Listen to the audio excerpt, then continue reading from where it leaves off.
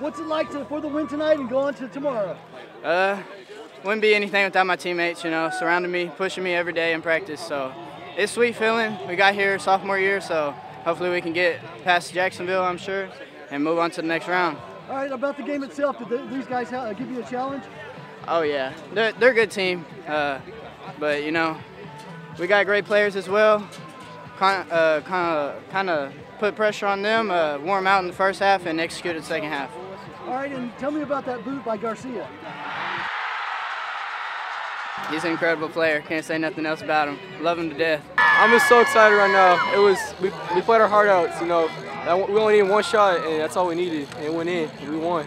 You had some spectacular saves. How fired up are you uh, to play today? I was excited. It's the moment we got on the bus or on the ride here. I was excited, ready to win.